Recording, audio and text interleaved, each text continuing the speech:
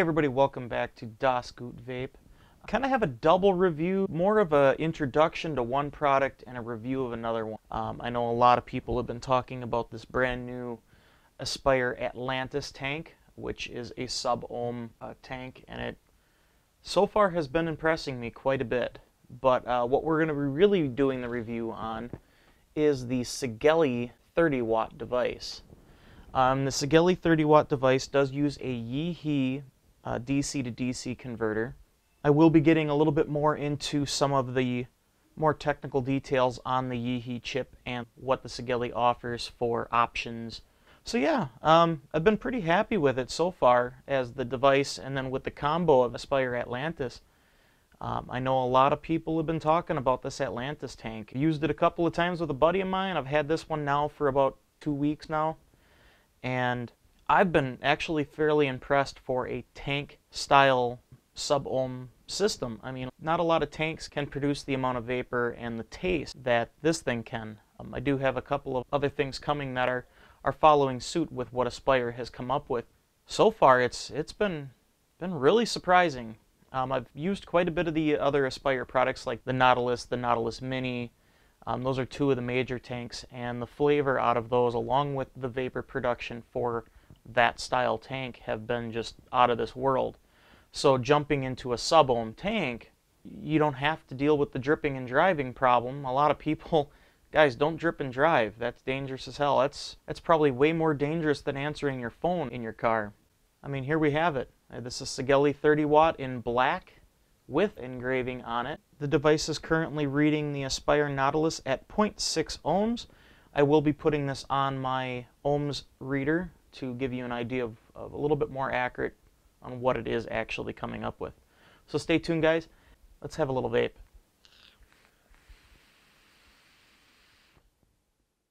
So here we have the box that I received my Sigelei 30 watt or 30W. I did order this one in black with the engravings. Um, really decent box. I mean, nothing too crazy. Like I said previously in a bunch of my other videos, we don't buy these devices for the containers they're in. Um, it is definitely a perk or a plus when you receive more of a display case style um, box to store the device in, which it, it, it is nice to have, but in most cases you never need it. So anyway, this is the box I received it in. Very simple little Sigelei here.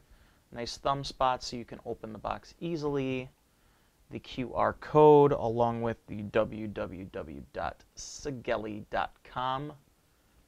And let's see, a lot of the same on the other side of the box. Bottom, nothing too crazy, just the made in China. And we've got a bunch of the information here on the side. So, why don't we open this up and see what we got inside. All right. So what we have inside is your user manual breaks down how the device operates, what its operating range is, and also breaks down a few of the other things. Now I know this device um, is noted to have a gravity sensor for adjustment and menu navigation, which is kind of neat. So you don't have to have two other switches or some other way of either going advancing in your menus. Um, it's all done off a, a simple tip. So you can just tip it to left, to the right, and it will navigate that way. The operating wattage range of this device, this is a variable wattage device, and it will operate from 7 watts to 30 watts, or it will fire 3 volts all the way up to 8.5 volts off of a single 18650 battery that are capable of delivering or supplying a large amount of current. It will also fire an atomizer as low as 0.5 ohms all the way up to 3 ohms, so it gives you a very wide operating range of resistance. The battery voltage range, so it has a, a dual meter, so it'll tell you the um, amount of voltage that's left in your battery. Also has some warning here.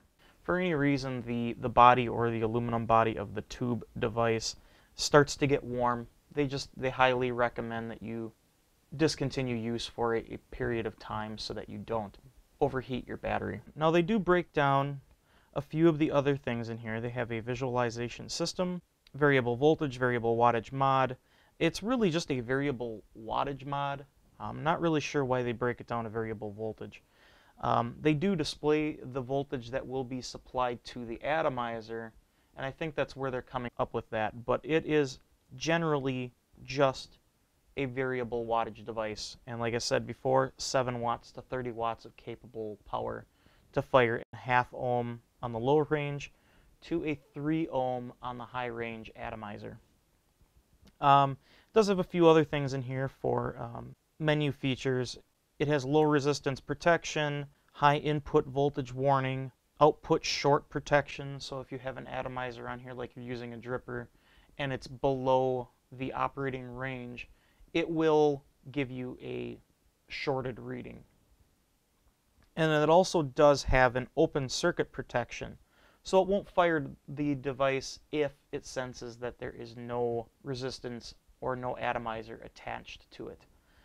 And another very good thing that it does have is a reverse battery protection. So anybody who accidentally puts their battery in backwards, it won't blow up your device this is a good thing for anybody who, who may accidentally do that.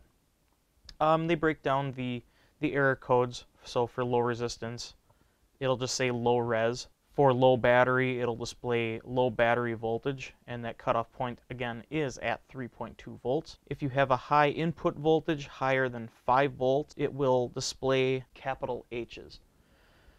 So that's good information to have. Um, and then the rest of this breaks down how the how to turn the device on, how to deactivate the device, and then also how to navigate the menu system. It is a very easy device to use, so there's really no worry. Um, anybody who will have this device won't be won't be overloaded with complexity of operation. Next, we should probably get the, de the device out, and here you have it. Um, it is nicely packed in foam along with the cardboard box. And it did come in a plastic sleeve to keep it nice and clean, no dust. So we will take it out. And here you have the beautiful Sigelei 30 watt tube mod device, variable wattage of course. I will break this down also into a few pieces so we will get rid of a bunch of this stuff and then I will come back and show you how to take the device apart, put it back together in its individual pieces, and then explain what some of these pieces do. So again, here we have the device itself. Um, it does come in a few pieces. You have your bottom cap, which just unthreads. It also does have a bit of a locking ring um, and some adjustment. This bottom button is threaded, and that's to take up battery rattle itself and I will pull this completely out to show you. Very fine threads. So this is just the button. It's not the firing button, but it is just to adjust for battery rattle so that every battery I have tried in here has fit and has fit very nicely. Again, we have the bottom piece. It's a little dirty. I have been using it. Um, they do have battery venting holes here, which is an absolute must for safety any company who does not incorporate battery venting, if in case something does bad happen, you don't want it to turn into a pipe bomb. There is a threaded collar on here. Um, as of right now, I can't get it off. It's just more for aesthetic purposes. Um, but you can also thread it down and it kind of locks that button up a little bit tighter. It's easier to do on the device. And just a simple view of the inside of this bottom and then we will thread this back on. Like I said, it's very fine threads, which is great. So now we'll set this down. Next portion we have is the battery tube. Um, it's fairly heavy. I believe it's stainless steel. I believe it's just powder coated. So you'll see the engravings here that say Sigelei 30W or 30 watt. Very nice threads. The machining is pretty good. Um, haven't had any problems with it. Everything threads together beautifully, does not get sloppy. I have not had any problems with the threads whatsoever on this device. It does have a little bit of weight to it, but not bad. So we'll set that off to the side. Now here's where we get to the fun stuff. We have this center piece right here, which I will leave towards the end for uh, a little bit of discussion on what this is. So on the top, we have your 510, and this is a reverse threaded adjustable center pin. Right, here we go. It's a reverse threaded center pin so that you can adjust any of your atomizers to sit nicely and flush to the top of this. Also, for the people who like to still use the Ego style threading, as always, Sigelei is very good about incorporating the Ego threads, and they are very nice. Haven't had any problems with the 510 or the Ego, and they work well. So, now to the main workhorse portion of this device. This is the actual control head. Um, like a lot of the other devices out there, they have replacement heads, or you can just take them down to this point. This is the positive pin where your battery would contact. It is slightly floating, which is a big thing that I'm happy to see that Sigelei is op offering that this is a little bit of a floating, not spring-loaded, I don't think, but it has a little bit of a movement to it, which is something that um, one of their previous devices that I own that I've had issues with in the past with the button pushing up too far and not being able to use certain batteries on it. But that's the control head. No other buttons other than the firing button itself, which is right here. And you have a very nice, very easy to see, it's OLED screen. So we'll put this all back together and then I will put a battery in it and show you a bit about the menu system. So I have a Sony VTC5 here that I will be using for this device. And I do highly suggest or recommend that you use high drain batteries for these high wattage devices. The reason why I suggest you use the high drain batteries is because of the amperage that you are demanding from the battery itself. You'll get current limited or it'll keep popping up saying check battery, check battery. Um, and that's one of those things that you when your battery starts running low, then you have to drop your wattage slightly down to use up the rest of the battery. But anyway, let's put the battery inside. And the way that I like doing this is I separate it at the bottom of the control head. I drop the battery inside the tube. I carefully thread it back on. And I tend to get a little bit of a gap here. So to pick up that gap, you just unthread the bottom a little bit, tighten that down. Nice thing is they have beautiful perfect threads on here so the Sigelei lines up with the button and the bottom of the engraving on this tube, or the top I should say, just lines up with the engraving on the tube. Then you just snug this up. You don't want to over tighten it because you'll be pushing up too much on the device or on the center contact and that can cause problems eventually down the road.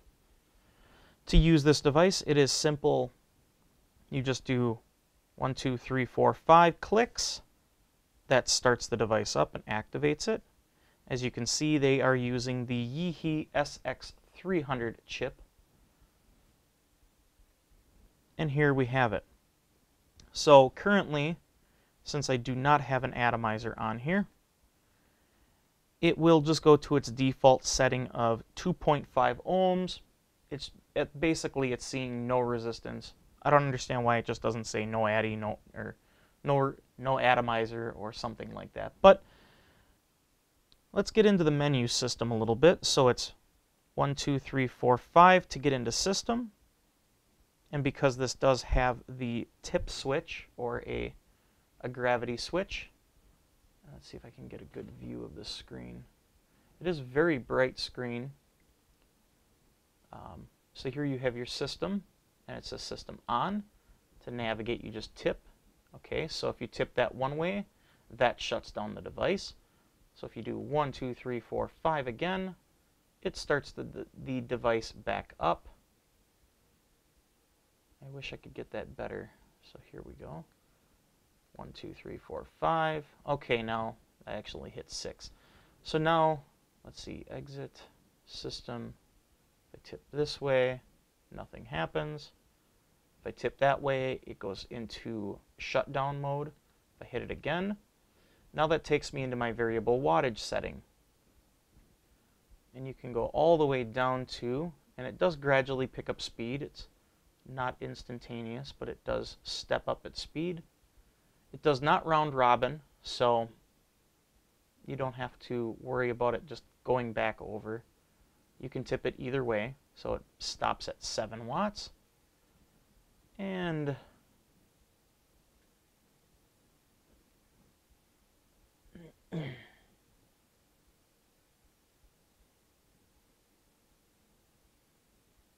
Twenty watts. And goes all the way up to 30 watts.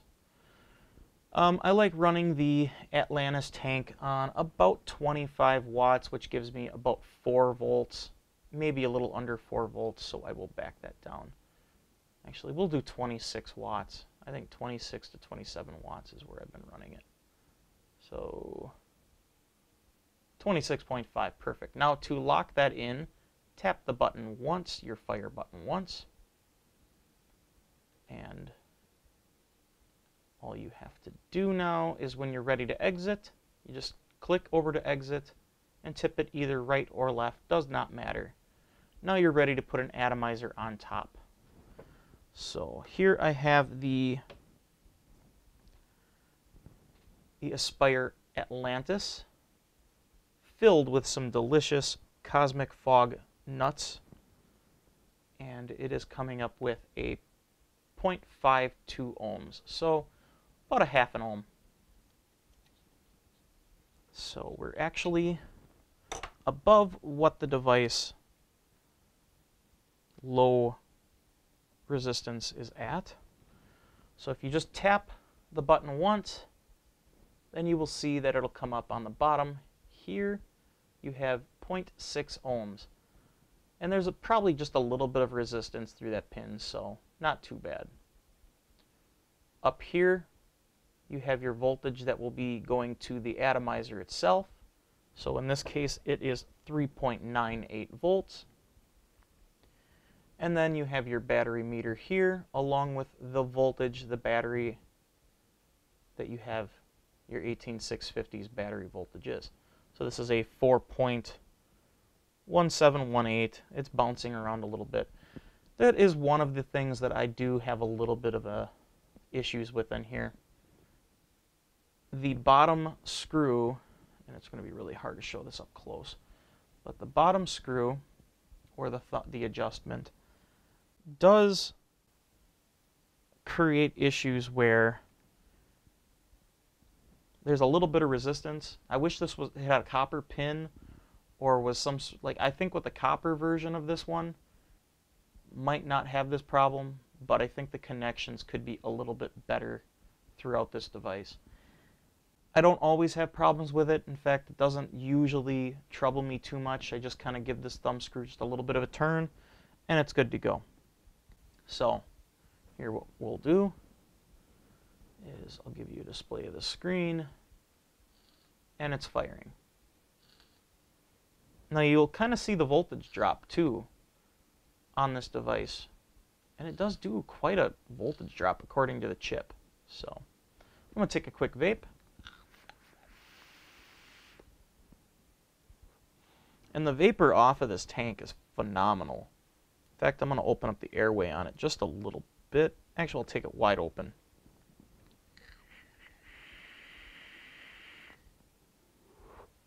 And that is, the flavor out of that tank is amazing, guys, by the way. By the way. So what I'll do is I'll go back into FaceTime mode, and I'll just give you kind of my, my, my final words on this device.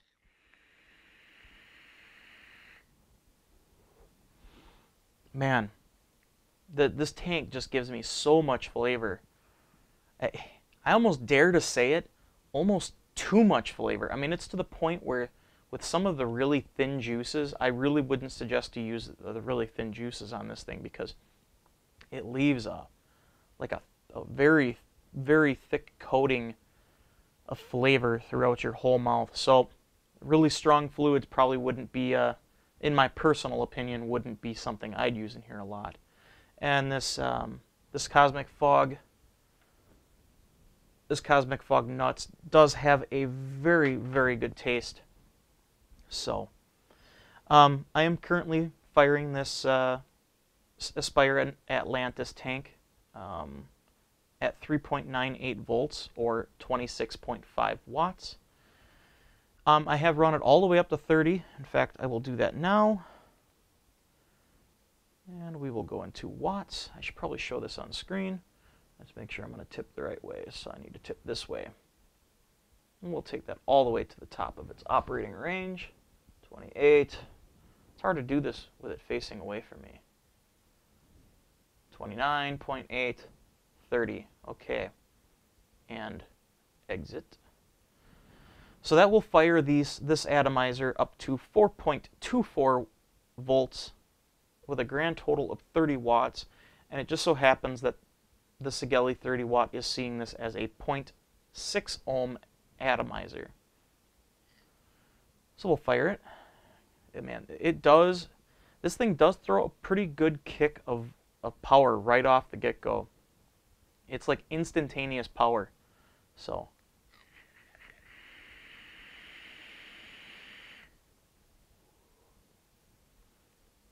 no loss of flavor.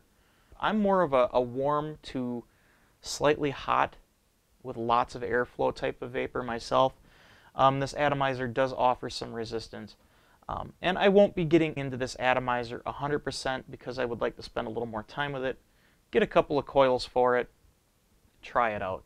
One thing worth noting too about the Aspire Atlantis tank, it does not hold a lot of juice. I mean, it holds a fair amount of juice, but it doesn't hold a ton of juice. Um, meaning, this thing burns through juice like crazy. So if you're one of those people that buys a 15 mil bottle, a 10 mil bottle of juice, you'll go through that in a day.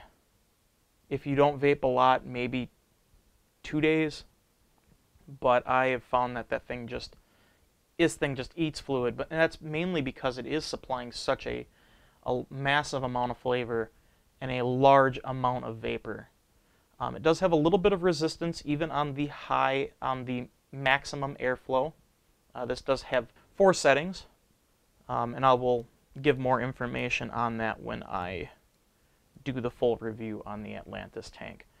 But yeah, the Sigelei 30 watt is, is a very versatile, versatile, versatile um, variable wattage mod.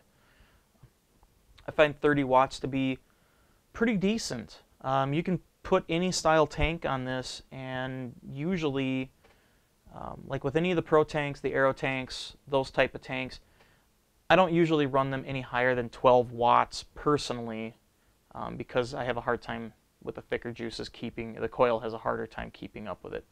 The Nautilus Mini, those uh, keep up with the fluid much better and you can usually run those, in my case, about 15 watts I don't like to run them any higher than 18 max just because you tend to burn off that fluid pretty quick on that coil and it doesn't quite wick up the type of juice that I use. Kind of get into a chain vape and you might get a dry hit.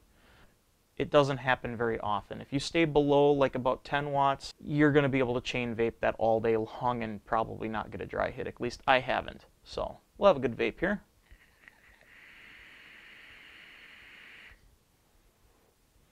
And the vapor, man, the vapor and the flavor that this tank puts out is phenomenal. So the Sigelei 30 watt, ladies and gentlemen, um, I give this a big two thumbs up from Das Gut Vape. I am Justin, and thank you for watching. Let's have a good vape here.